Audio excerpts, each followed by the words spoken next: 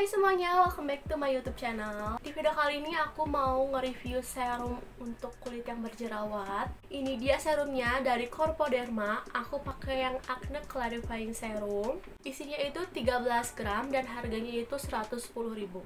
Dan dia bisa digunakan untuk semua jenis kulit. Packagingnya kayak gini. Dia botolnya tuh silver terus tinggal dibuka aja dan dia itu pakai pump kayak gini. Menurut aku lebih enak dan lebih praktis aja kalau serum pakai pump ini mohon maaf banget kalau di kamera jadinya silau banget.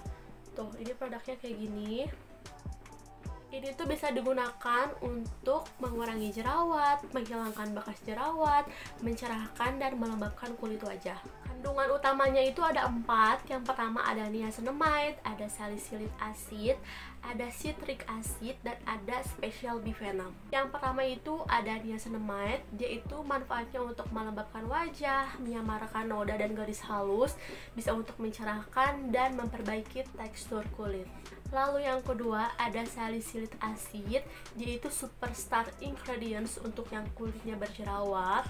Dia itu manfaatnya bisa untuk mengatasi jerawat, mencerahkan, membersihkan pori-pori kotor penyebab jerawat.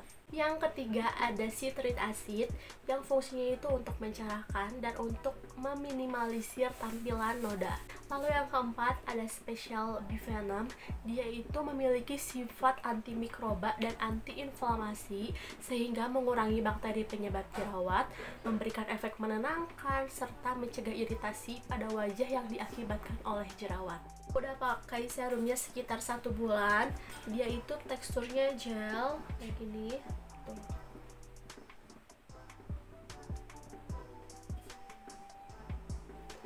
dan mudah menyerap. Selain itu wanginya juga tidak menyengat jadi bisa dipakai untuk yang kulitnya sensitif. Setelah satu bulan aku pakai serum ini yang pertama dia bisa melembabkan kulit wajah aku terus dia juga bisa menghilangkan bekas jerawat. Walau belum sepenuhnya hilang tapi lama kelamaan tuh bekas jerawat aku yang di pipi ini dia memudar. Tuh. So sekian review dari aku. Semoga bermanfaat buat semuanya. Thank you for watching. Bye bye